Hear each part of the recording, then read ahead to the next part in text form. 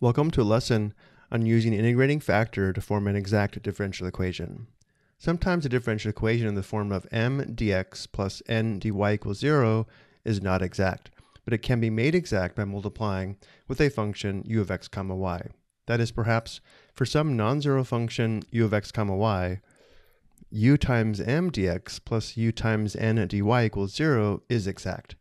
And any solution to this new equation is also a solution to the original differential equation. Here's the approach we take to determine a possible integrating factor. We first verify the differential equation is not exact by verifying the partial of n with respect to y doesn't equal the partial of n with respect to x, or the difference of the first order partials does not equal zero. Once we verify this, we take the difference of the first order partial derivatives and divide by n. If this quotient is a function of only x, we call the function p of x, and the integrating factor will be u of x equals e to the power of the integral of p of x dx. If this quotient is not a function of only x, then we'll take the difference of the first order partial derivatives and divide by m instead. And if this is a function of only y, then we call it q of y, and let the integrating factor be u of y equals e to the power of the opposite of the integral of q of y dy. So again, once we verify the differential equation is not exact, we take the difference of the first order partials and divide by n. If it's a function of only x, the integrating factor is u of x. If it's not a function of only x, then we try dividing by m. If this is a function of only y, then we let the integrating factor be u of y. Let's try solving the differential equation below. First, if we want, we can write the differential equation in differential form. We can think of multiplying both sides of the equation by dx. In the form on the right, we can see m is equal to the quantity x squared plus y squared divided by the quantity x plus 1, and n is equal to 2y. And now let's determine the partial of m with respect to y and the partial of n with respect to x. To find the partial of m with respect to y, we differentiate m with respect to y, treating x as a constant, which gives us 2y divided by the quantity x plus 1, to find the partial of n with respect to x, we differentiate 2y with respect to x, treating y as a constant, which gives us 0.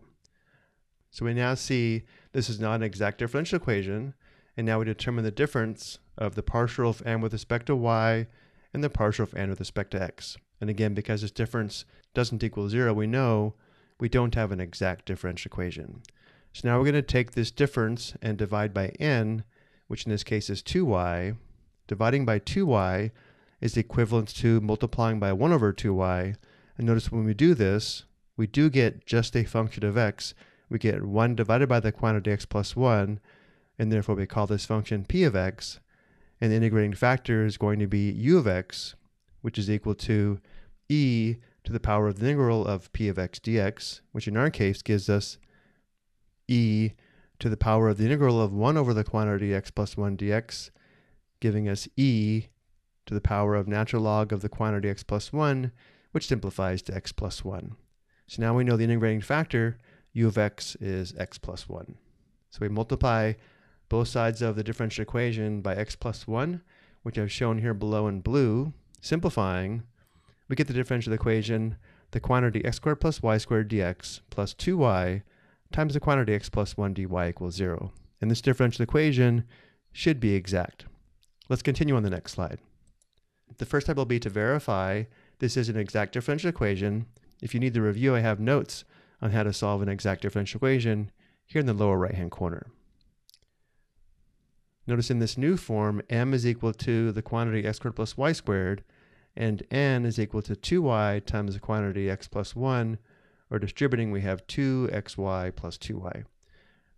Next, we find the partial of m with respect to y, which is 2y, and the partial of n with respect to x is also 2y. So notice now we do have an exact differential equation, and therefore the solution will be big F of x comma y equals c, such that the partial of big F with respect to x equals m, and the partial of big F with respect to y equals n.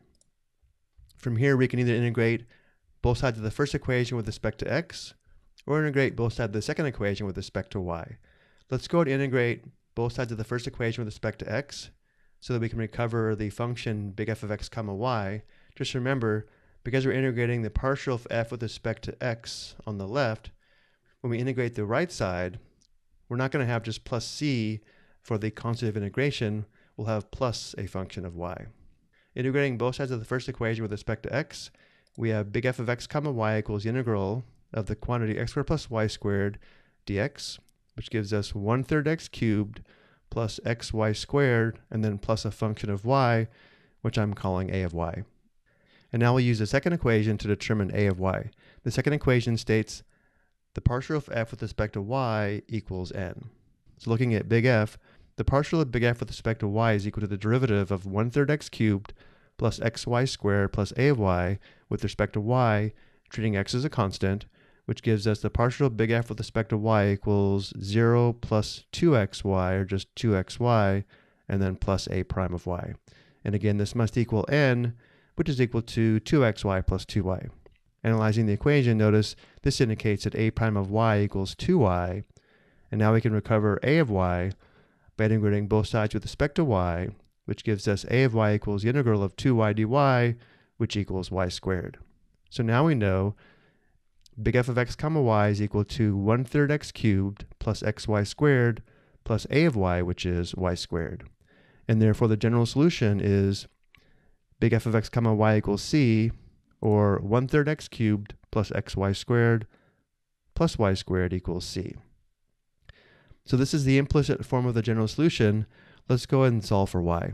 To do this, the first step will be to subtract 1 third x cubed on both sides, which I've shown here at the top.